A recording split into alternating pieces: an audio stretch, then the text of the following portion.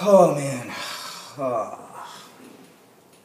The hell are you doing in my room, Perry? Um, just dreaming what it would be like to be you. Just get the crap out. Just get the crap out. And after what you did at school today, don't expect me to talk to you or even look at you. Got it? You never do anyway.